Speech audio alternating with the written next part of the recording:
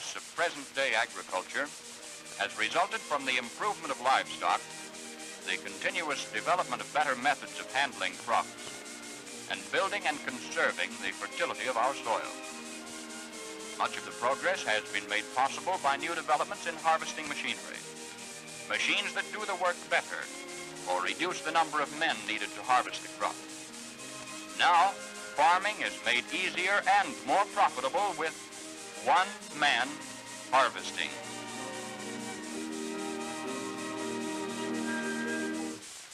Good harvests start with good soil. And if we're to continue to have plentiful harvests, we must return organic matter and fertilizer to that soil.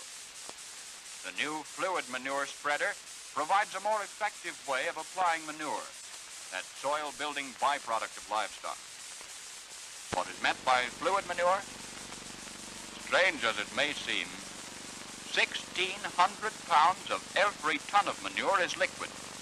And this part, which is generally lost, contains half of all the nitrogen in the manure and 80% of all the potash.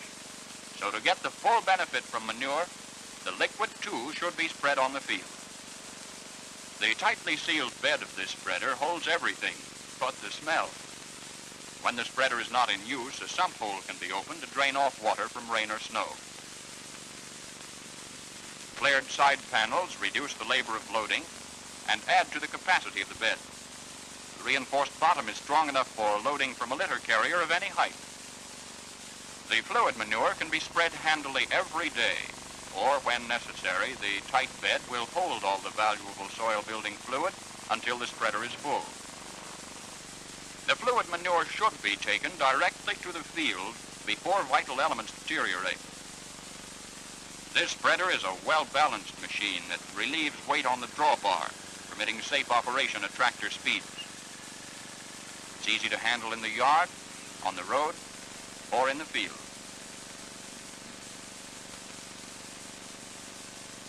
A close inspection shows there is no dropping or dripping from the bed.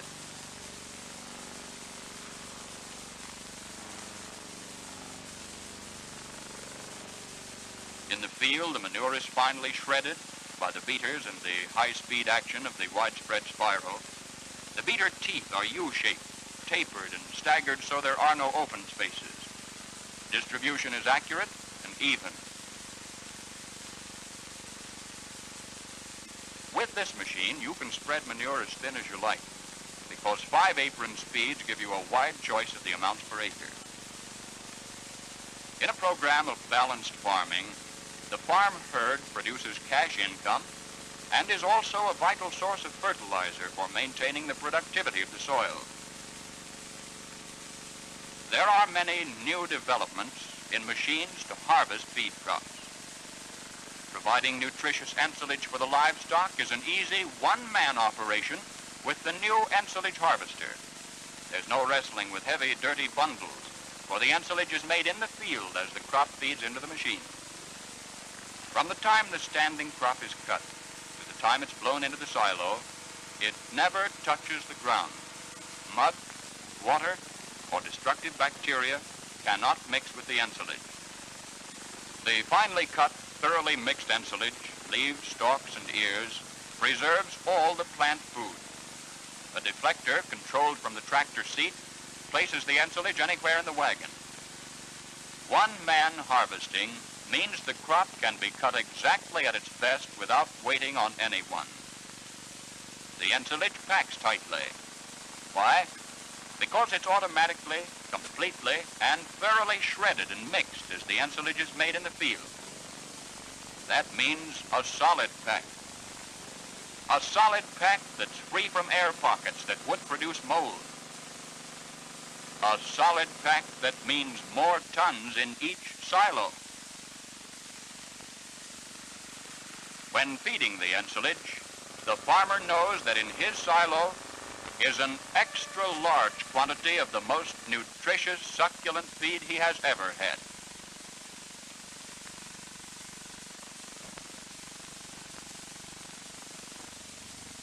When winter comes or pastures dry up, he knows that his feeding problem is whipped.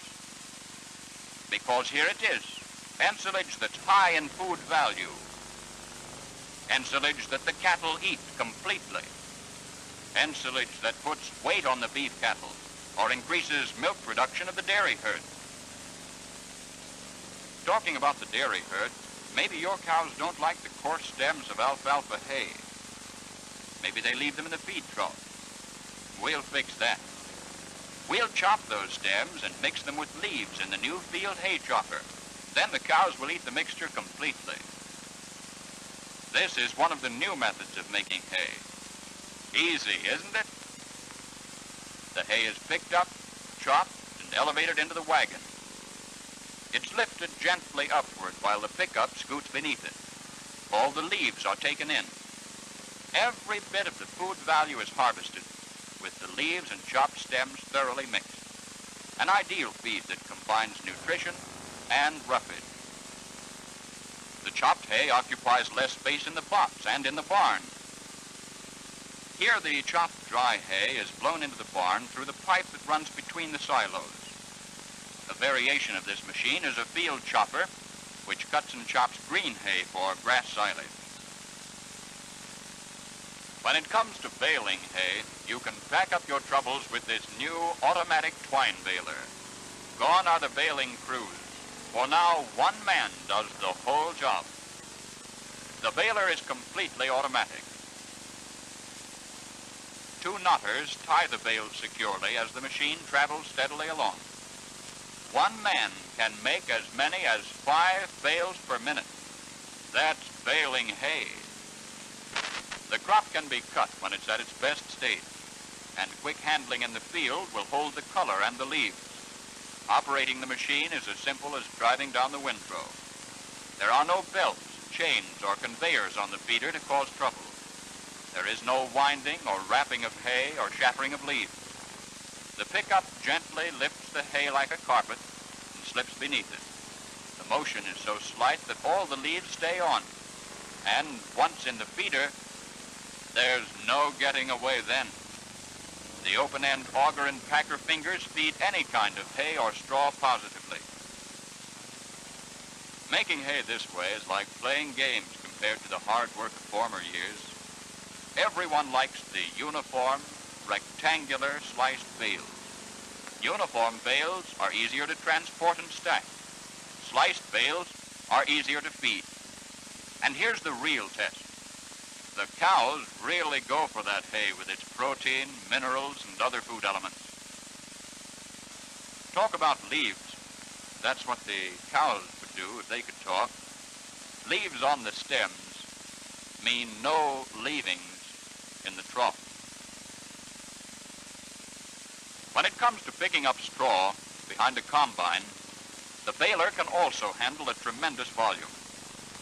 Here is an ideal method for the farmer to save straw for his own use or to sell the surplus commercially. Say, what's that machine back there?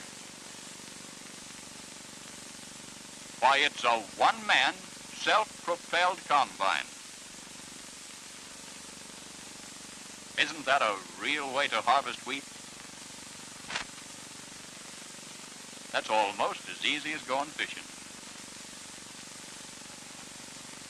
With this self-propelled job, you can go anywhere. You can open a field any place, cut the grain in any direction, and there'll be no run-down grain, no wasteful back swath. You can cut right up to the fence, all the way around the field, without flattening or shattering the crop. If a field has weed patches, spots of green grain or wet places, you can cut around them. The ripe grain is saved, and the spots can be cut later. On the road, the outfit handles almost as easily as a car. The platform extends over the ditch on the right, giving wide clearance for meeting and passing. Using the road's speed, it's easy to move from one location to another.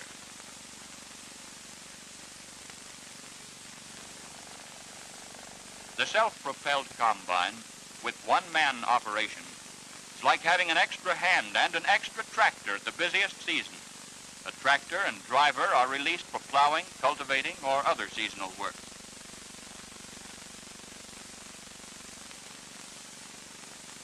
To propel the combine, and for cutting and threshing under all conditions, the heavy-duty six-cylinder engine provides steady, full power with plenty of reserve.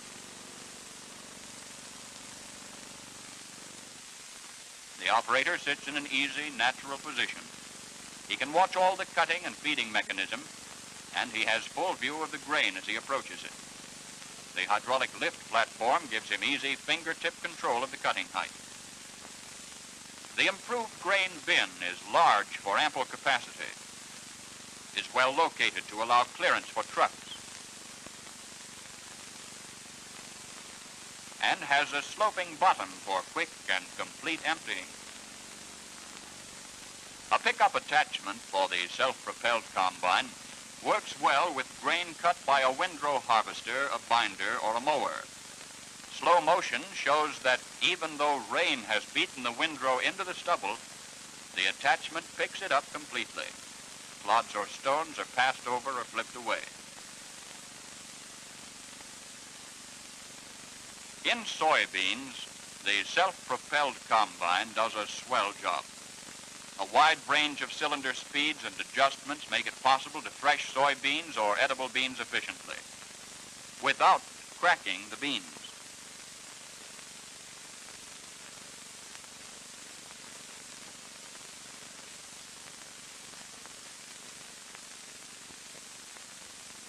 Where soybeans are grown, corn harvest and soybean harvest usually come along at the same time.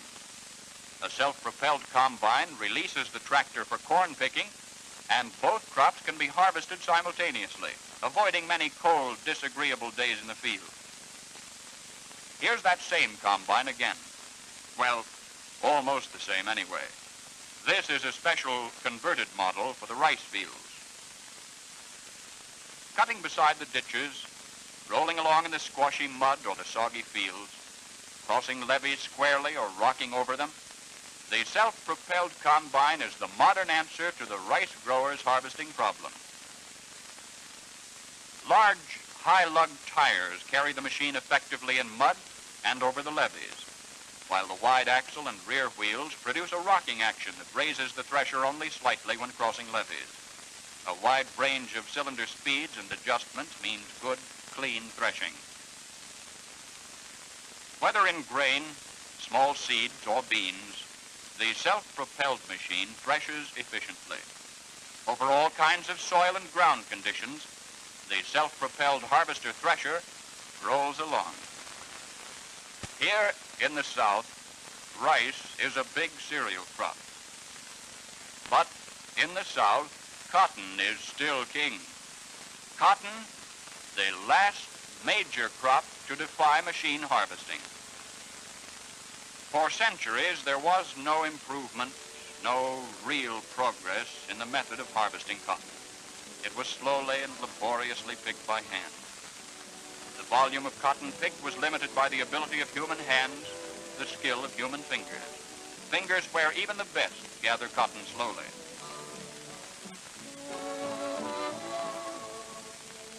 Cotton growers, agricultural engineers, and equipment designers have actively studied this problem for years, hoping to develop a machine that would relieve human labor of the burden of this back-breaking work. Today, that machine is a reality. With amazing speed, the McCormick Deering one-row high-drum cotton picker rapidly performs the job that would be slow, tedious work for approximately 50 people. Now, the last of the great crops of the world can be successfully and economically harvested by machine. Steel fingers inside a mechanical drum remove the cotton from the open bolls and eliminate the toil and expense of hand picking. Parallel vertical drums pass on both sides of the cotton. These rotating drums are timed with the forward speed of the machine so that the revolving spindles enter and withdraw from the plants without any raking action. And yet the tiny barbs on the spindles get the open cotton. Inside the drums, the cotton is removed from the spindles and conveyed to a separating chamber, where considerable trash is removed. It's blown past a grating that further assists in removing trash, and then into the basket.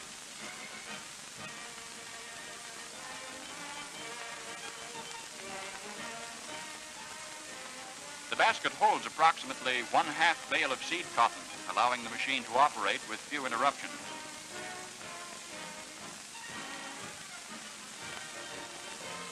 A hydraulic lift makes dumping as easy as moving a small lever.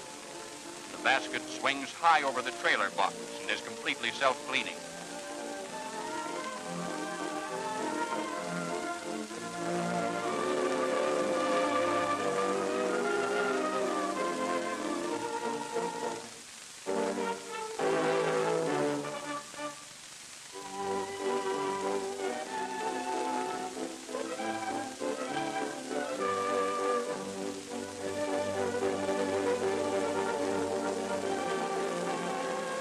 Snowballs by the basketful. The high drum pickers are mounted on Farmall tractors with perfect clearance for row crops. They have two speeds to meet varying crop conditions.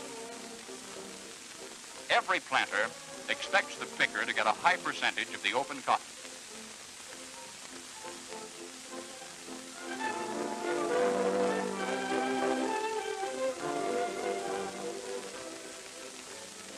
Wants a machine that is maneuverable, handles easily, and saves time on the turns.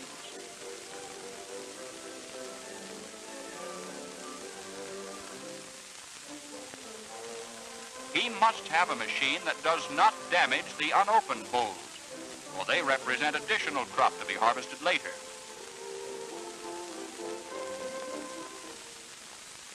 In plants with heavy foliage, the cotton picker also works efficiently.